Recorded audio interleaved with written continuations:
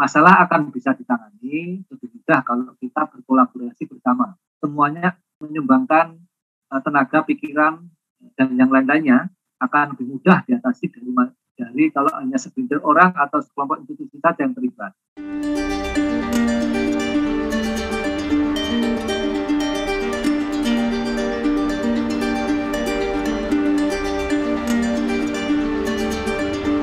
Selamat sore dan salam sejahtera Sobat PKMK SKKMK UGM. Semoga Anda dalam keadaan sehat dan berbahagia di mana pun Anda berada. Podcast Bincang-Bincang Sistem Kesehatan Nasional, series yang ke-13, hadir dengan topik strategi, mekanisme, koordinasi, dan sistem komando dalam implementasi pemberlakuan pembatasan kegiatan masyarakat atau sering kita singkat dengan PPKM khususnya di daerah istimewa Yogyakarta. Perkenalkan, saya Happy R. Pangaribuan yang bertugas sebagai host Anda pada sore ini. Podcast ini merupakan bagian dari kanal pengetahuan sistem kesehatan nasional yang dikembangkan oleh Pusat Kebijakan dan Manajemen Kesehatan atau PKMK SKKMK UGM bekerjasama dengan Knowledge Sector Initiative atau KSI.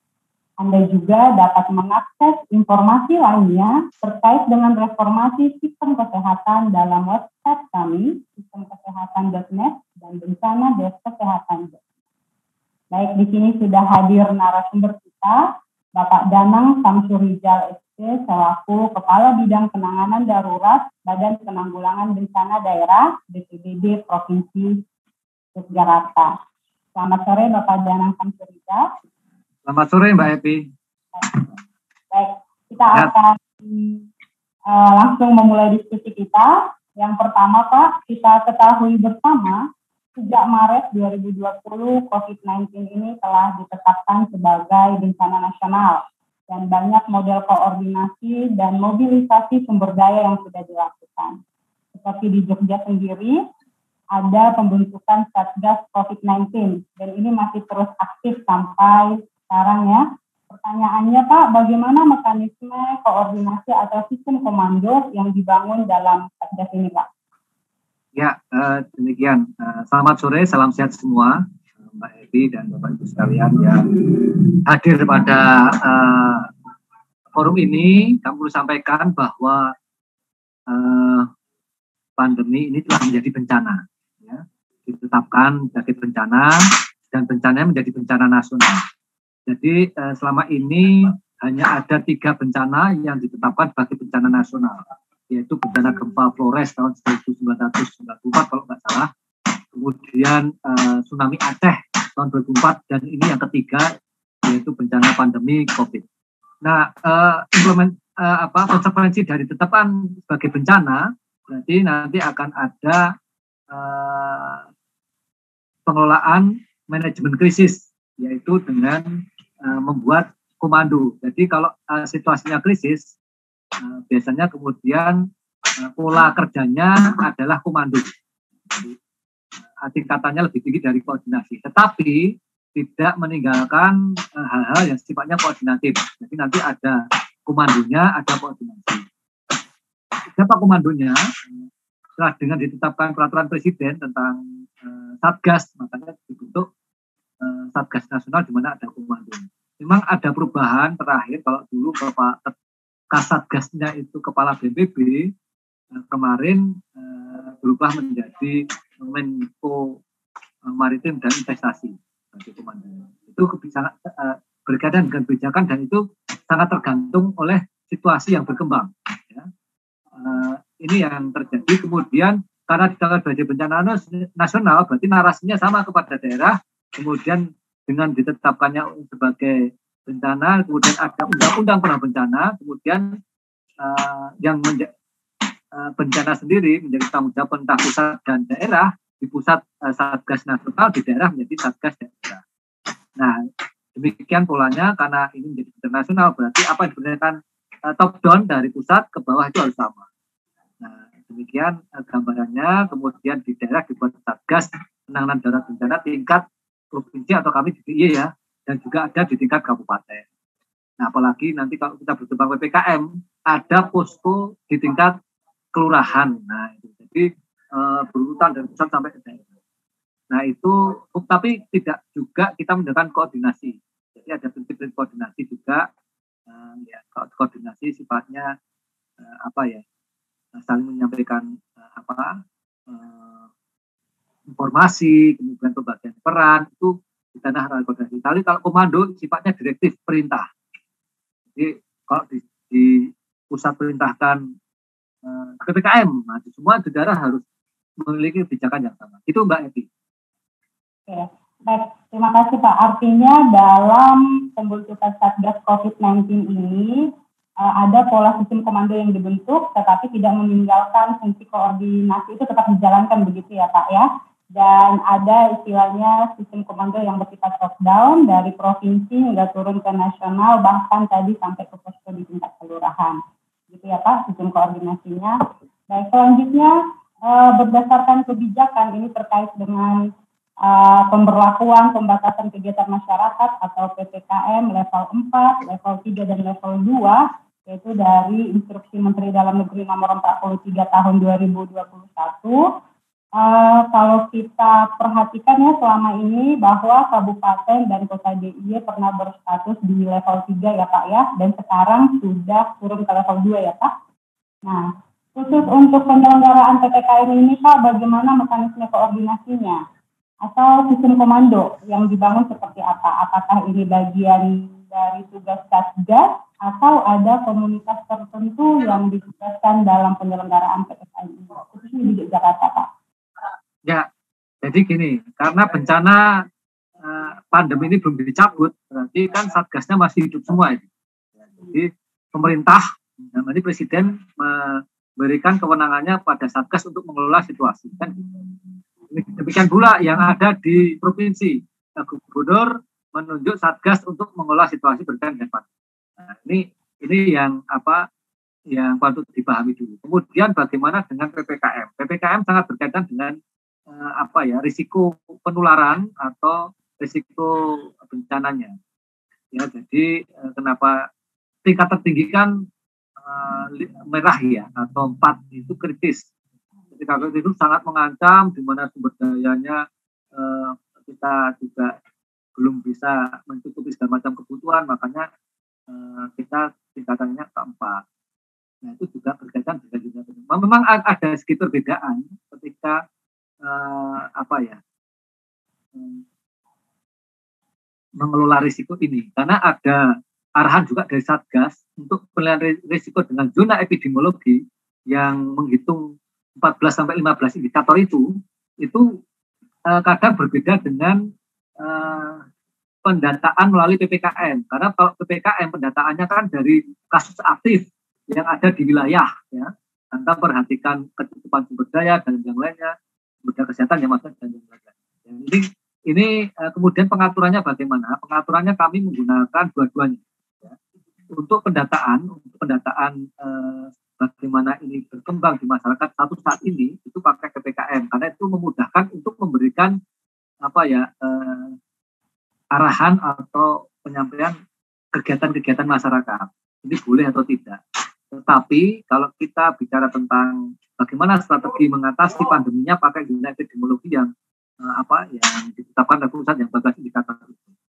Ini memang ada sedikit ya kita ngikut aja karena kami di BPBD ya. Di BPBD itu kan uh, koordinator ketika ada kejadian bencana sehingga kami sangat menyesuaikan uh, kebijakan dari pusat dan itu memang apa uh, butuh pemahaman yang jelas kapan kita menggunakan data PPKM, kapan kita menggunakan data epidemiologi. Nah, data epidemiologi yang tadi yang dikatakan Jogja itu levelnya dua atau satu atau itu menggunakan uh, penghitungan yang dari pusat itu kita terima saja mbak. Jadi uh, mbak kita terima Jogja dinilai uh, apa nilainya dua atau tiga atau empat itu dari sana karena dia pusat punya indikator. Salah satunya misalnya uh, rasio vaksin dari target misalnya begitu. Kemudian pergerakan warganya dan yang lain-lainnya. Nah, kemudian bagaimana itu implementasinya? Posko yang hidup tadi harus harus melaksanakan sebagaimana arahan PPKM. Misalnya kegiatan mana yang boleh, mana yang belum. Nah, kemudian pembatasan-pembatasan yang lainnya. Ya semoga dengan semakin menurunnya ini kita beri kelonggaran-kelonggaran. Misalnya sekarang ya Malioboro sudah mulai dilonggarkan, kawasan-kawasan publik mulai dibuka, tatap muka sudah mulai. Itu kira-kira. Terima kasih Pak Danang. Artinya uh, untuk Jakarta selalu mengikuti update kebijakan dari atas ya Pak ya. Seperti tadi juga disebutkan bahwa PPKM ini memang berkaitan dengan risiko penularan dan risiko bencana. Jadi memang pasti berhubungan dengan data-data penyakit dan tentu harus melibatkan tadi data-data dari epidemiologi begitu ya Pak. Nah untuk penyelenggaraannya tersendiri, posko melaksanakan arahan PPKM ini. Pokoknya semuanya itu sesuai dengan kebijakan pembatasan. Misalnya kalau level 3, kebijakannya pembatasan level 3 itu apa saja. Kemudian kalau turun ke level 2 apa saja. Begitu ya Pak ya? Oke, baik. Terima kasih Pak Danang. Uh, selanjutnya dalam penyelenggaraan PPKM ini tadi sudah disebutkan kita harus tetap mengikuti uh, instruksi pedoman yang ada dan pasti ini Pak banyak lintas sektor yang terlibat, yang dilibatkan untuk kesuksesan PPKM ini. Dan ini merupakan sinergitas kolaborasi pentahelik khususnya di lapangan. Nah, siapa saja ini Pak yang dilibatkan dalam penyelenggaraan PPKM ini dan apa saja kendala yang selama ini dihadapi, termasuk kendala dari masyarakat Pak? Ya, uh, pelaksanaan ini kan uh, masa PPKM ini kan ada sifatnya kebijakan kebijakan yang sifatnya strategis sampai tadi taktis di lapangan. Jadi kalau ditanya siapa yang terlibat, dimensinya banyak. Tetapi kalau bicara pentahelik semua terlibat. Jadi eh, kami Satgas banyak mendapat masukan dari misalnya dari akademisi. Bagaimana mengelola situasi ini, bagaimana pengelolaan eh, apa kesehatan masyarakat dan yang lainnya. Itu dari kesehatan. Juga dari eh, eh misalnya dari teman kita di dunia usaha. Mereka juga uh, yang terdampak juga memberikan masukan ini loh agar mereka tetap bisa melaksanakan aktivitas atau bertahan hidup. Uh, ketika ada situasi sulit di masa pandemi ini mereka memberikan masukan kepada kami. Sehingga uh, kebijakan Pak Gubernur pun juga uh, bagaimana mengakomodir semua. Tetapi lokomotifnya tetap kesehatan. Jadi karena situasinya kritis kita harus juga paham bahwa ternyata eh, keselamatan dia lebih tinggi dari badannya daripada kepentingan yang lain. Misalnya seperti itu. Nah, wujud implementasinya akan banyak di tingkat presiden sampai takdir. Jadi, eh, saya rasa sangat bijaksana semua dan memahami kebijakan Pak Gubernur itu untuk untuk menjaga marwah Jogja sebagai eh, apa ya eh, tetap menjalankan aktivitas perkotaan, eh, kepemerintahan, kemasyarakatan dan yang lainnya. Saya rasa sangat baik sampai ke bahwa meskipun memang kadang-kadang ada pro kontra yaitu biasa dalam situasi yang tidak nah, seperti bencana ini kan ada seperti itu. Nah kemudian bagaimana PPKM? PPKM kan tingkatnya mikro kan, jadi di tingkat mikro juga dilaksanakan meskipun nanti eh, apa ada banyak kekurangan, tetapi masyarakat eh, eh, diharapkan itu berpartisipasi menjaga lingkungannya. Alhamdulillah sekarang kasusnya menurun menurun menurun menurun sehingga masyarakat berlomba untuk menuju anu ayo gawe Jogja hijau. Nah, karena kan targetnya hijau. Jadi kalau sekarang kalau ada ada wilayah uh, kelurahan yang kuning aja dia itu bagaimana agar sekarang ayo hijau. Itu ber, kemudian kan banyak yang dilakukan. Misalnya menjaga kerumunan, kemudian uh, mereka berperilaku budaya sehat di rumahnya.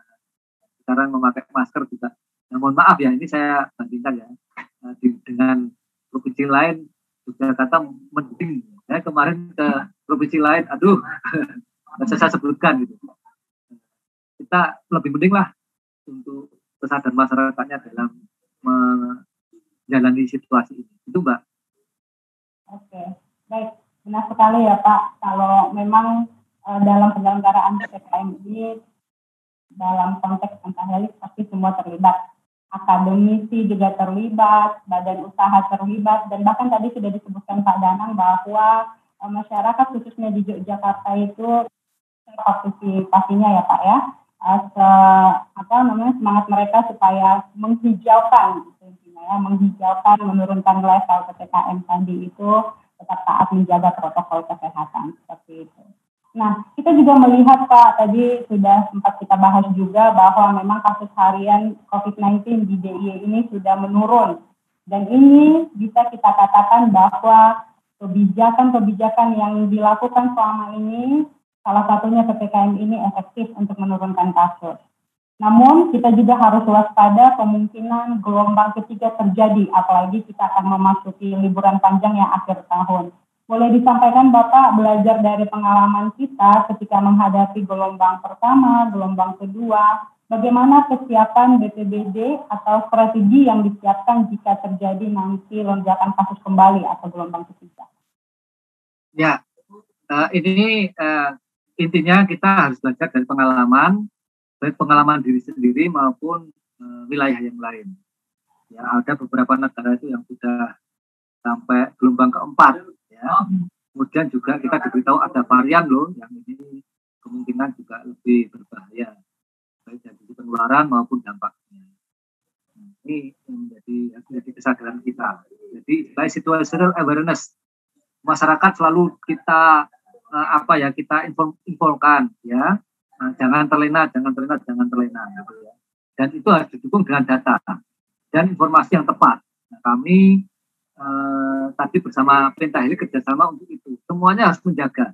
Yang di perguruan tinggi harus dengan uh, apa uh, juga ikut memberikan masukan pada kami kajian-kajiannya, arahan-arahannya dari apa yang bisa implementasi di lapangan itu sangat penting. Kemudian dari dunia usaha tolong juga ini sudah digerakkan aktivitas ekonominya, tolong dijaga protokol kesehatannya. Beberapa tempat sudah bagus, Mbak tapi ada juga ya paham kita masih belum di pasar tetap kita jaga warung-warung segala macam. Uh, sebenarnya kita sudah diajari teorinya. Jadi kemarin itu kita sudah diajari teorinya bagaimana uh, baga, uh, menjaga dari penularan. Itu tetap itu. Kemudian uh, ke dunia media media juga sangat mendukung. Jadi media masih selalu mengingatkan kita beberapa hal terkait ini untuk edukasi ya informasi. Swasta sudah pemerintahnya juga uh, melakukan upaya-upaya regulasi yang tepat ya. Uh, tolong itu dipatuhi. Jadi di Yogyakarta uh, saya rasa juga tidak lengkap regulasinya kalau cuma dilaksanakan dari sisi uh, saya rasa semuanya sudah. Nah kemudian uh, ke depannya uh, karena setiap ada event besar seperti uh, pertemuan per, apa kumpulan karena ada kegiatan-kegiatan seperti pariwisata, hari libur segala macam itu berpotensi kita sangat menjaga itu.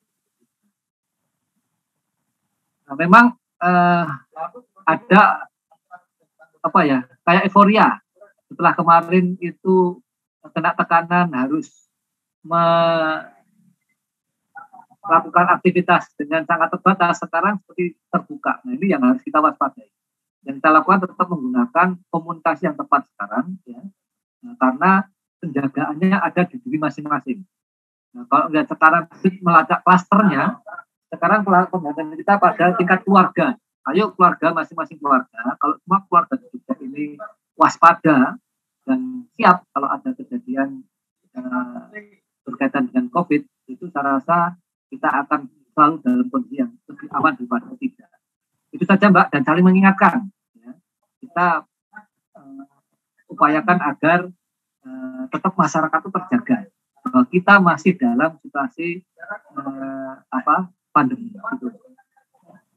Terima kasih Pak Danang. Sekali saya setuju Pak. Kita memang masih dalam situasi pandemi ini tetap harus kita ingat ya. Meskipun ada penurunan kasus dan sempat tadi ada euforia juga, kita lihat sudah mulai ada pertemuan tatap muka misalnya di sekolah ya 50 persen 50 persen.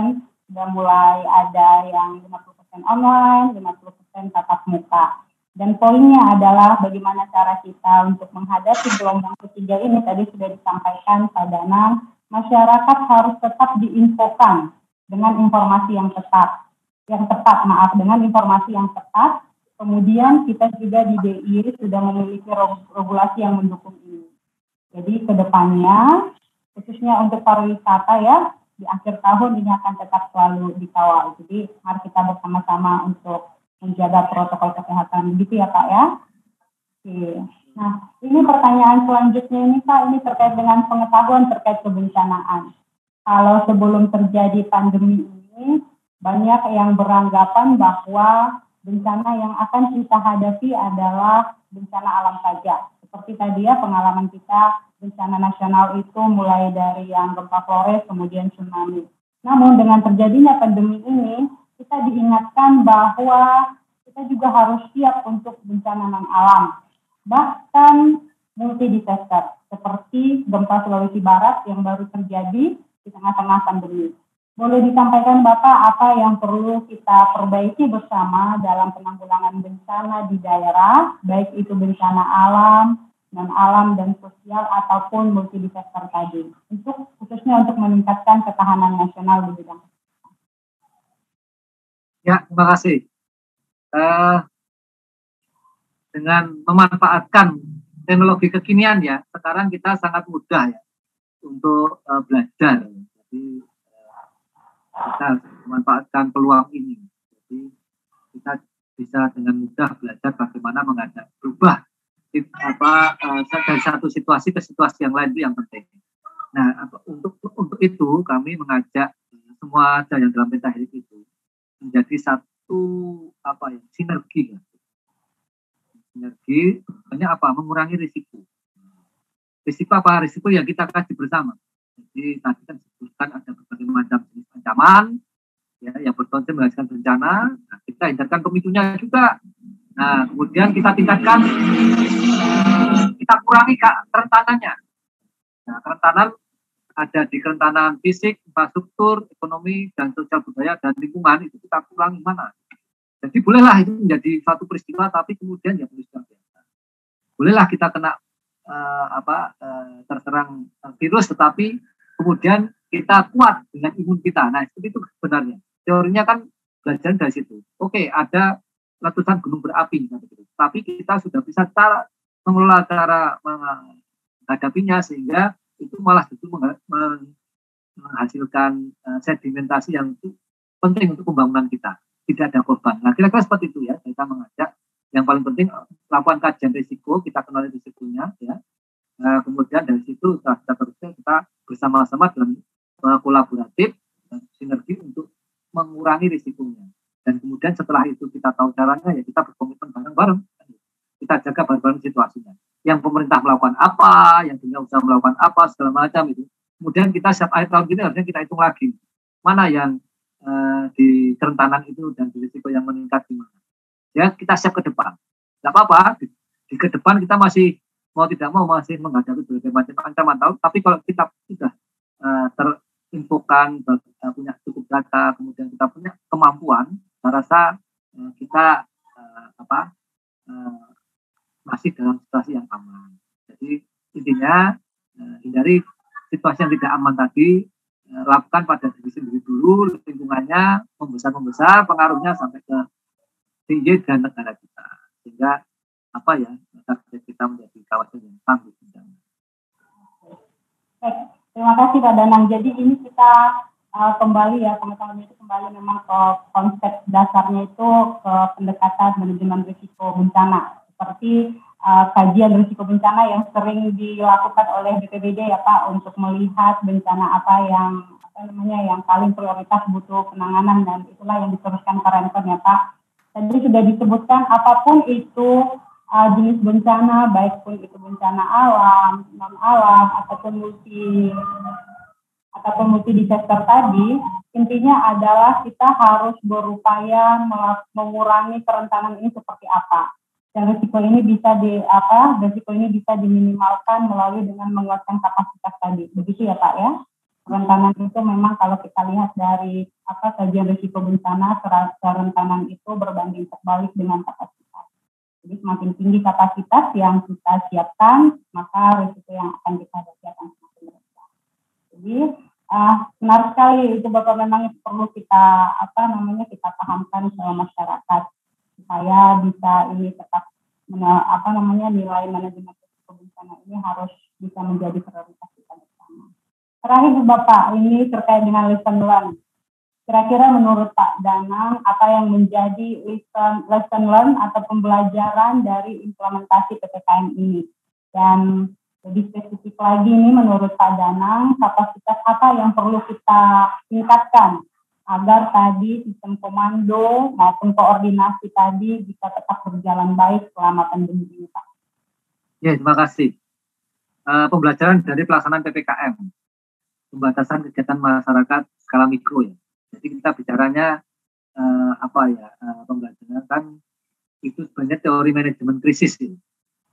Jadi manajemen krisis uh, yang dilaksanakan secara semesta ya semuanya terlibat ya jadi uh, di tingkat uh, terkecil dari sisi lingkungan ya kemudian sampai ke pusat ya itu uh, bergerak bersama itu pembelajarannya ya jadi masalah akan bisa ditangani lebih mudah kalau kita berkolaborasi bersama.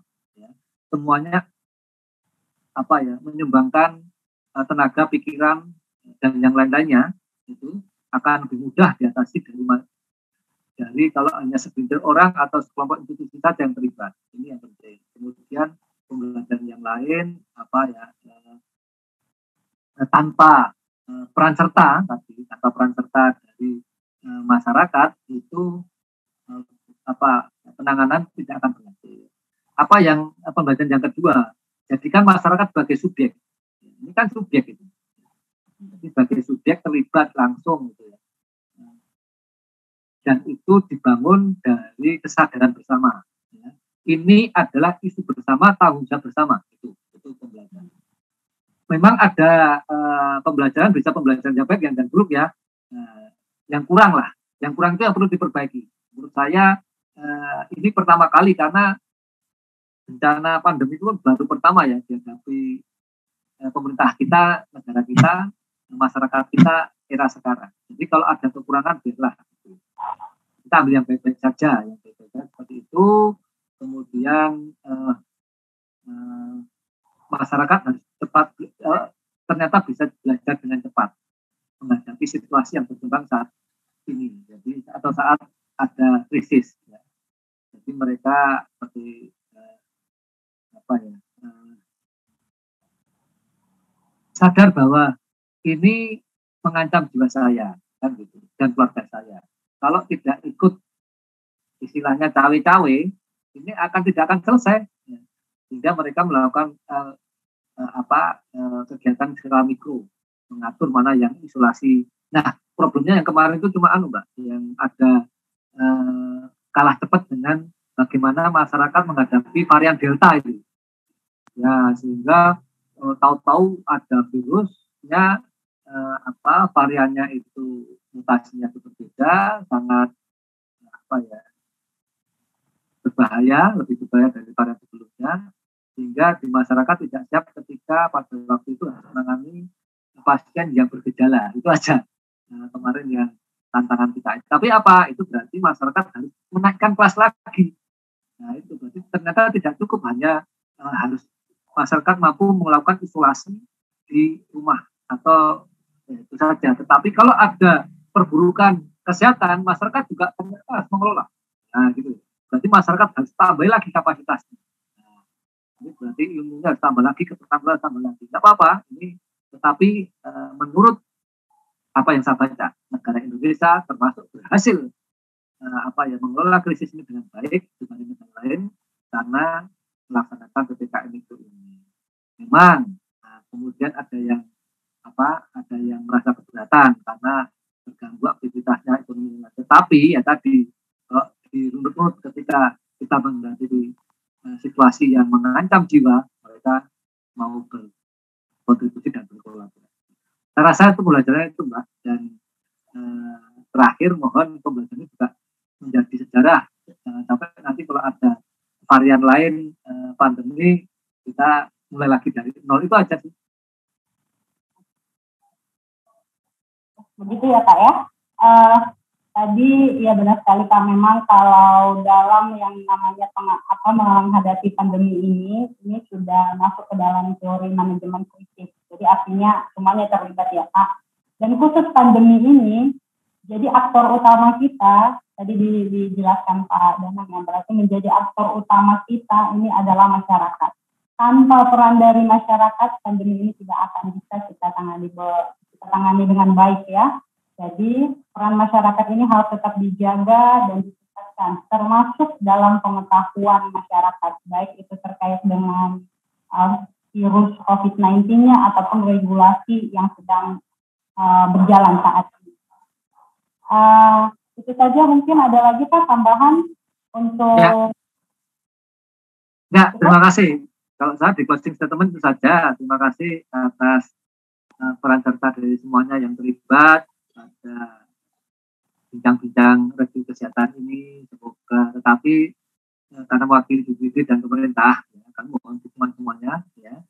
Jangan juga memberi kritik kritisi, nah gitu ya. Karena tanpa dikritik kita merasa sudah uh, apa ya dan itu uh, kita jadikan biasa saja ternyata kita dengan dikritik kita jadi tahu kekurangan-kekurangan kita nah, itu harus segera ditambah itu saja ya semoga uh, semuanya sehat ya. Uh, kalau kita sehat kita baru bisa menolong orang lain. Oke, baik. Terima kasih Pak Danang. Tadi banyak sekali ya pembelajaran yang sudah kita dapatkan, kemudian informasi terkait bagaimana PPKM ini efektif untuk mengurangi uh, kasus COVID-19 khususnya di DIY, kemudian bagaimana pentingnya peran masyarakat dalam penyelenggaraan PPKM ini.